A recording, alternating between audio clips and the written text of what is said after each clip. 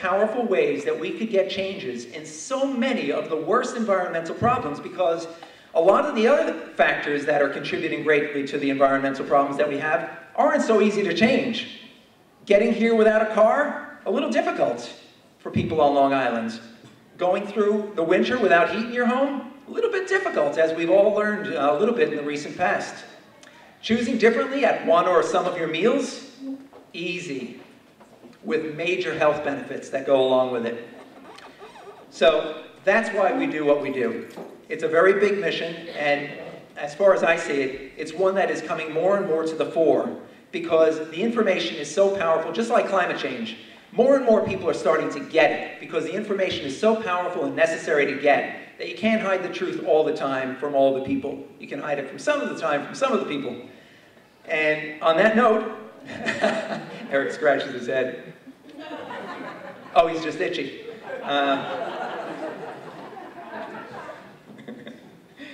on that note, give me just a moment. Thank you, you're so patient. I'm not worthy.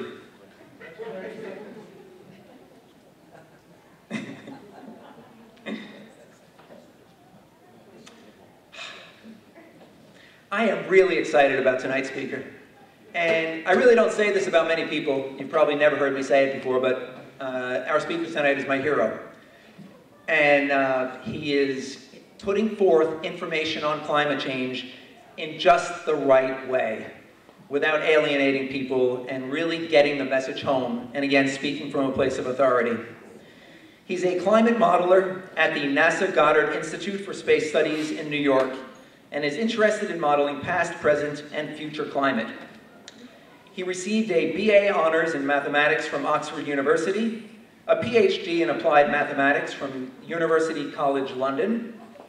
He has worked on education and outreach with the American Museum of Natural History and the New York Academy of Sciences. He has over 90 peer-reviewed publications and is the co-author with Josh Wolfe of Climate Change, Picturing the Science, which is a collaboration between climate scientists and photographers. And that book is here, and he will be signing them after this, the talk tonight.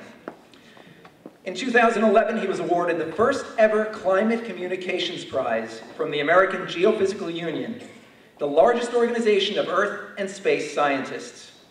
This award recognizes excellence in climate communication, as well as the promotion of scientific literacy clarity of messaging, and efforts to foster respect and understanding for science-based values related to climate change. They recognized him for his dedicated leadership and outstanding scientific achievements with the hopes that his work would serve as an inspiration to others. And he was on The Daily Show. So join me in welcoming Gavin Schmidt.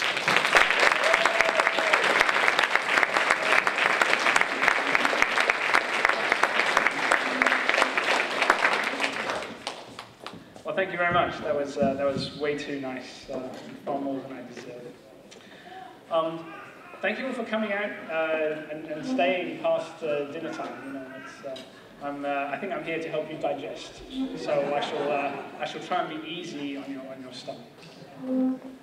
Um, as Bob mentioned, the, the, book project that we worked on was a collaboration between scientists and photographers. And unlike what you might think, it wasn't the scientists going to the photographers saying, oh, take a picture of something sciencey that we can, that we can explain. Uh, it, it, was the other way around. The photographers came to us and they said, we want to tell a story with our art and our images that's more complicated than we're being allowed to do. Every time we have a, a, a, climate story in Newsweek or Time, they want the same photograph. They want, a, they want a distressed penguin or a polar bear or a storm or something. We want to tell a more complicated story. We want to tell a more nuanced story. And you scientists should be able to help us do that. And after some pushing and prodding, we ended up, uh, we ended up doing that. So I'm going to give you a, a little bit of a, a, a flavor for these things. So there's no, there's, there's one graph in here, I think. But, uh, but mostly it's just pictures, uh, so uh, there's, there's very little to, uh, to worry about. Okay, let's see if this works. Yes. What is the beginning of a science? measurement. You have to be able to measure something. It's not good enough to say, oh, I feel something. You have to be able to measure it. Um, and climate science started when people started measuring temperatures. This is a, uh, a Galileo thermometer, so a thermometer invented by Galileo. It was the first quantitative thermometer uh, that existed, and basically what happens is that as it gets warmer and colder, the little balls move up and down. And for the first time, this is in the, the late 1500s, for the first time people could track whether how, how much one winter was different from another winter, how much temperature changed between summer and fall, uh, or between one country and another. And before that, we had, all we had was, was anecdotes, and, and it's very hard to make a science out of anecdotes. We do a better job now. We, we can go uh, uh, we can go and write down these things. This is um, uh, for the space buffs. Uh, this is a logbook uh, that was written by Cassini, who the, the Saturn probe was named after. But at the time, he was the head of the uh, observatory in Paris, uh, and he would write down that it was cold, and this is in French, and he had to he, it's really hard to work out exactly what he's writing down.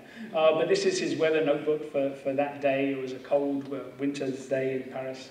Um, and people are going back and we're, and we're writing down these things, we're codifying this, we're trying to put together histories uh, of, the whole, uh, of the whole climate as long as we've been writing these things down. Uh, and we're putting this together. What happens when we put it together? Um, we, uh, we, uh, we're not just putting it together now, we're, doing a much better job. Right? This is a, a weather station that's in Antarctica. Uh, these are automatic weather stations. You don't need uh, astronomers to do this anymore. You don't need uh, fancy little balls floating in a little glass thing. These are uh, they're all connected by satellites and they keep track of the temperature, the rainfall, the snowfall, the wind direction. Um, we have a pretty good network now. We have, we can, we've instrumented pretty much the entire surface of the planet. We have satellites uh, flying overhead, uh, looking at pretty much every part of the, uh, of the, of the world. And what we find is, is a history like this. Now, you've probably seen graphs like this, um, and this is really what we're talking about when we talk about global warming, right? So uh, it's worth thinking about what's on this graph for a little bit. Uh, this is uh, this is the late 1900s, right? So 1890. So this is 2010 here. 2011 is uh, is just there. 2012 is going to be there. Um, and you can see that you know this is this is temperature. So up is hot. Uh, it, was, it was colder and then it kind of warmed up for a bit to the 1940s, the 1970s, and it was flat. And then since the 1970s, it's been warming. And that warming is continuing, and what we project is that that's going to continue uh, quite, uh, quite dramatically. Uh, but it's also worth noting that there's a lot of ups and downs. Like one year can be, like this can be a cold year, and that can be a warm year, and it can be a cold year, and it can be a warm year. There's a lot of noise in the system. Right? We know that, right? We know that one winter and one summer, uh, they can be very different one from the other. Like it's because we have the global warming pattern, doesn't mean that every summer is hotter than the summer before, that every winter is, is not as warm, as not as cold as it was before. Um, and so we've got a lot of noise in the system. So teasing out the signal, teasing out what's going on in, on the large scale is actually quite hard. The other thing that's worth noting here is the size of these uh, wiggles, right? Look at the look at the temperature change here. Now, this is in, in Celsius. I apologize for that. I'm still a little bit of a European at heart. I, uh, you've tried to beat it out of me, but it's it's it's, it's very sticky. Um, so this is uh, this is about uh, two degrees Fahrenheit, and so you can say, okay, well, hold on. You know, is it only gone up two degrees Fahrenheit since the 1900s? Why do we even care? Right? The temperature in this room has gone up by two degrees Fahrenheit just since we've been sitting here, right? Because we're, we're producing about 100 watts uh, from our heads the entire time. We're, we're, we're keeping this place uh, toasty warm. Um, and, you know, it's a little, it's a little sweaty, but, uh, but it's not, you know, ridiculously uncomfortable. Uh, so the question is, why, why do we care? Why is this important, right? Does the planet really notice this? I mean, we could have noticed it, right? Scientists could have noticed it, but does it matter? So that's, that's, a, that's a valid question. Does it matter?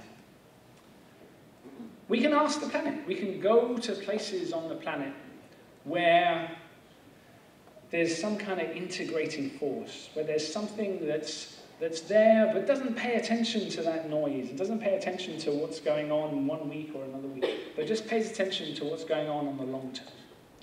And there's lots of places we can go. Uh, this, is, uh, this is in Canada. Uh, this is the Athabasca Glacier. Um, and uh, this is a picture taken in 1894. So right at the beginning of that, of that time series that I showed you. And we can go to this exact same spot today, and we can see what it looks like. Right? Now, do you like that? People, people like that. Take a deep breath, right? Nobody took a deep breath when you saw the, the, the, the time series in the graph. But when you see how things have changed, right? And I could go anywhere. I, I, anywhere where there's ice, I, I can do this same thing. I could go to the Rockies, I could go to the Andes in South America, I can go to Mount Kilimanjaro, I can go to the Himalayas, I can go to the Alps, I can go to the Caucasus, I can go to Papua New Guinea where there are still some, uh, some glaciers really high up in the mountains. And I will see the same thing. If you show me a photograph from 100 years ago and you go back and you go and look at it now, it is radically changed. Right? The planet's ice has noticed that the planet has got warmer. But it's not just the ice, right? It's also the ecosystems. It's also the sea level. The planet has noticed what has happened. Um, some places have had very dramatic changes. This is a uh, satellite photograph of uh, an ice shelf uh, in the Antarctic Peninsula. So the Antarctic Peninsula is the bit of Antarctica that kind of pokes up towards South America, right? And it's one of the places in the world that's warming up the fastest. And uh, just to give you a sense of scale, uh, this, uh, this ice shelf here is about the size of Rhode Island. Okay, that's not a small little bit of ice. Um, and uh, these, little, these little marks on the ice here, they're um, puddles, melt ponds water just sitting on the top. Now that was an unusual thing. People said, oh, that's unusual. What's going on there? And over the next six weeks, uh, this is what's going on there. And so what happened was that entire ice shelf just disintegrated. That was floating ice. There was ice that was about 700 meters thick, um, all in one big thing, but it was floating on the, on the surface of the ocean. And uh, like I said, it was about the size of Rhode Island, and the whole thing collapsed uh, within a few weeks. Uh, people, we've gone back there subsequently, and we, uh, we can see what's in the, in the ocean sediment underneath there, and people ask, well, when was the last time that there was open water here? And the answer was 10,000 years ago. Right? So, not... Is that the Larsen field? Yes, it is, Larsen B, yeah. Um, and uh, what you have is, is signs that what what's happening to the planet is not just important on a 10-year, 20-year, 30-year timescale, but on, on a 100-year timescale, on a 1,000-year timescale, on a 10,000-year timescale. That's geologically important. And for geologists, that's, that's a really big deal. Other things are going on. Like this is in the Arctic, so we're switching to the pole. This was in 2007. Um, this is uh, a, a, satellite view again. This is this Greenland here, right? This is North America, Alaska. Uh, and this is a picture of the summer sea ice. So this is in the middle of August uh, in 2007. And normally, normally, what, what, what used to be normal, Uh, this entire area here, where it's black now, that used to be covered in ice, right? Even during the summertime, this whole area was covered in ice. One of the things that, if any of you have ever read, you know, stories of Roald Amundsen, who was the, uh, the first person to travel through the Northwest Passage,